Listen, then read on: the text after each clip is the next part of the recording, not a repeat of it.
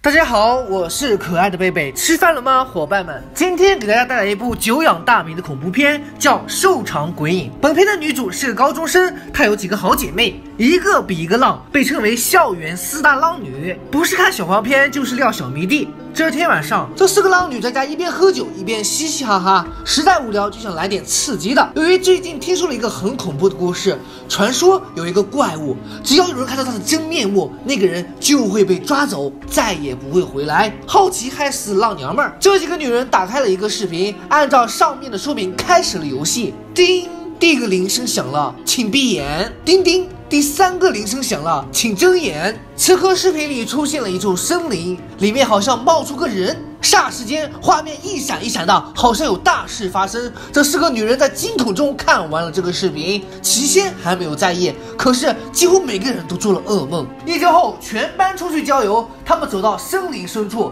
这个翘头妹好像看到了什么东西，那边是密密麻麻的森林呀。突然，一阵黑云飘过。这时，反应过来的姐妹们才发现翘臀妹不在了。同学、老师甚至警察出动，翘臀妹也没有找回来。晚上，小美妞听到外面有动静，她出去一看，哇，一个瘦长的鬼影就在窗户跟前。她赶紧跑回卧室。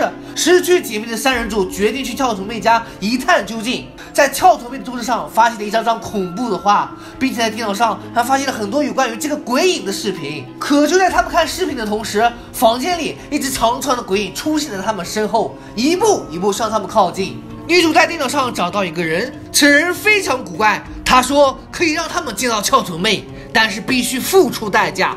于是三个姐妹大半夜来到约定的地点，她们拿出最珍贵的东西，然后听到铃声，闭眼。可是这个黑妹不信邪，在第三个铃声之前竟然睁开了眼，非要一探究竟。谁知鬼影现身，黑妹消失了，剩下两个妹子特别的抓狂。就在要离开的一瞬间，黑妹回来了，可是她已经不再是原来的黑妹。晚上在家，突然手机屏幕里出现了她家的样子，然后慢慢走进她的卧室，她害怕的哭了，一双又黑又大的双手掐住了她的脖子。这个就是瘦长鬼影，他根本没有脸。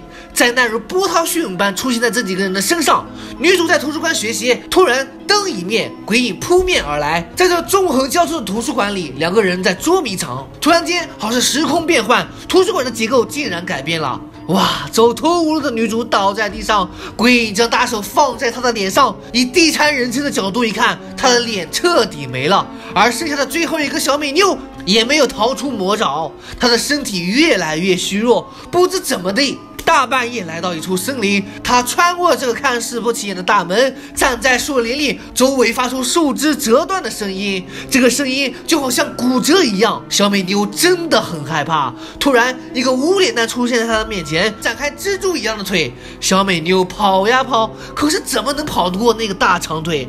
她被绑起来，拖到一棵树上。哇塞，原来这个无脸男是个树精，不是蜘蛛。随后，小美妞一点一点的被树枝覆盖。伴随着凄惨的声音，她消失在树林里。剧中这部电影有点可怕呀！本以为这个鬼只是个影子，随后变成了无脸男，最后竟然是只树精，真是想也想不到呀！好了，今天的恐怖片就分享完了，喜欢就关注哦，拜拜。